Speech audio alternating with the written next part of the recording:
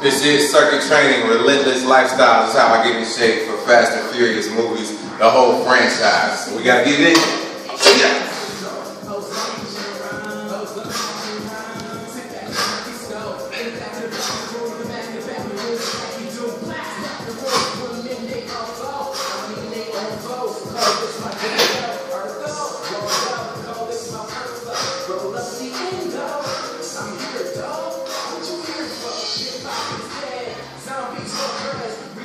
Good.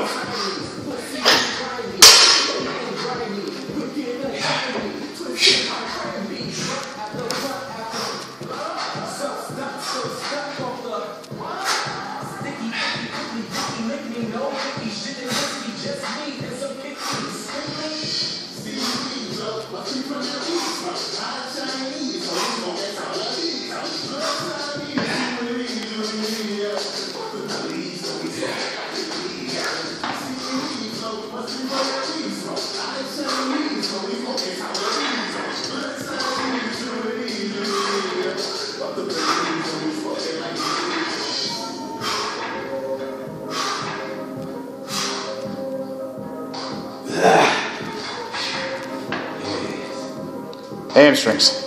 Shit.